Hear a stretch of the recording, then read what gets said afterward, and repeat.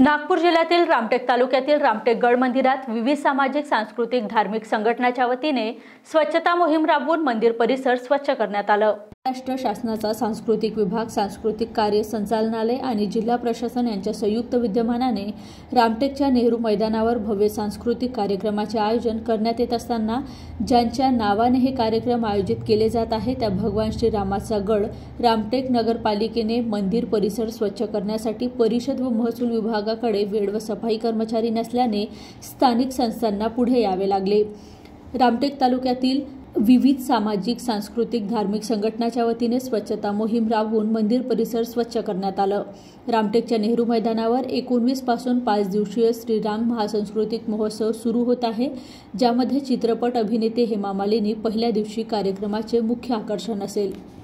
राज सुगरे राम मंदिर स्वच्छता अभियान रबाया गया.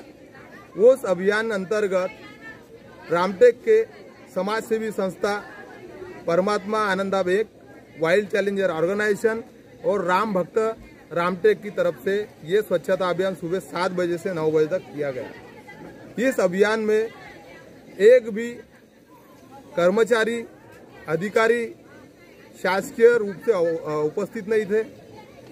उन्होंने इस बात की अभी तक के दखल ली नहीं है। जिस भगवान के होने से रामटेक में इतना बड़ा भव्य दिव्य कार्यक्रम हो रहा है, उस भगवान के तरफ़ राजस्व विभाग का और राज्य सरकार के अधिकारियों का तथा स्थानिक नेताओं का पीठ दिखाने का कार्यक्रम यहाँ चल रहा है।